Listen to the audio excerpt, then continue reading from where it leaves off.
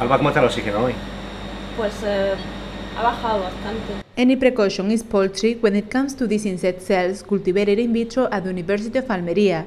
Their mission is creating a virus that fights the bee armyworm, the most powerful plague affecting pepper, the main crop in the fields of Almería. It is the first time that this method is used in Spain. Lo que se pretende es producir un insecticida inocuo con el medio ambiente y la salud de animales y, la, y los humanos. A biological pesticide that, as it is produced using this in vitro technique, sea más barato y fácil de conservar que el existente producido con métodos tradicionales. Con ello ofrecemos al agricultor un producto totalmente compatible con la lucha integrada, tan demandado hoy en día por el consumidor. Until now was thought that integrated pest management, despite being beneficial for the environment, was uneconomic. Sin embargo, nosotros creemos que el uso de reactores minimiza el coste de la mano de obra y además se pueden desarrollar medios de cultivo baratos hasta 10 veces menos que los comerciales. Con ello, el producto final puede llegar a ser hasta más barato que el tradicional.